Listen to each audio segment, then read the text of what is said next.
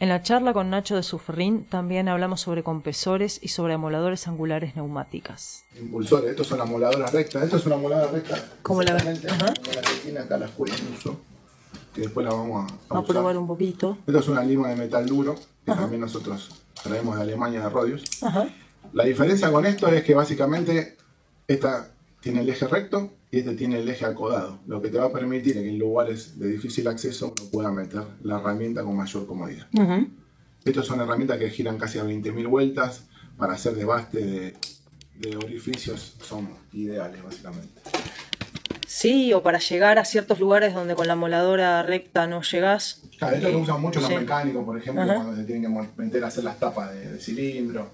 Eso, para eso anda bárbaro. También está bueno decir un poco es que para ciertas máquinas uno necesita un montón de aire y para otras, por ejemplo en la clavadora, que son eh, herramientas que no necesitan mucho aire porque no, no están laburando todo el tiempo. Haces un martillas una vez, martillas dos veces, con poca aire, un- o sea, con un compresorcito chiquito como el que tenemos acá, uno lo hace funcionar.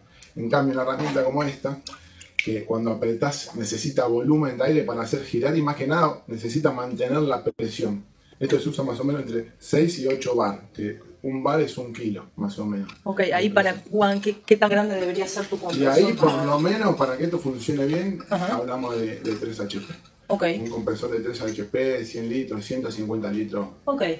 Todo también depende eh, de ¿Qué uso le va a caer? Intensidad, cantidad. tal cual. Exactamente. Porque si hace dos bulones y, y después no lo usas más, con cualquier compresor lo vas a hacer. Total. El tema es, es como una pistola de pintar. Una pistola de pintar, vos podés pintar una franja con el compresor más chiquito que hay. Pero si querés pintar una pieza, o querés pintar una pared, vas a tener que estar frenando para que se te cargue el compresor todo el tiempo. Total. Entonces hay que ver bien qué trabajo uno quiere hacer y ahí uno puede decidir qué, qué compresor necesitas o realmente qué máquina te va a venir bien o no.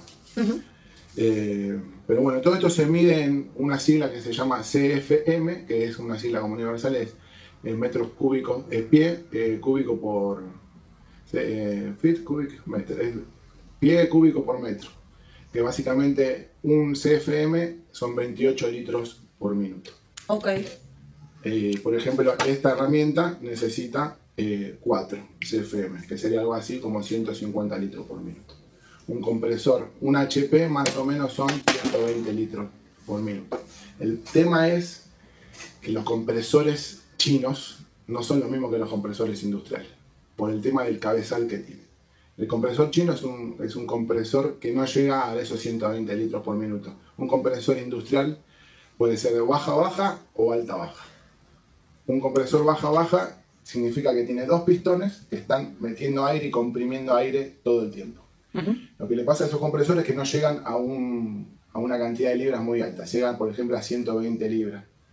Porque tiene dos pistones que están metiendo el aire. Después vos tenés los, los compresores que son alta-baja, que tienen un, pistón grande que mete el aire y el otro pistón comprime. Esos son eh, compresores que llegan a mucho más presión.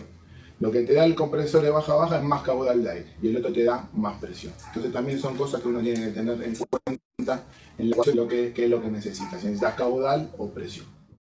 Ellas toman mercafé. Ellas toman mercafé. Ellas toman mercafé. Historias de oficios Ellas y género. mercafé y pueden hacer El podcast de Escuela de Herrería Lesbiana y de Tortas a la Obra.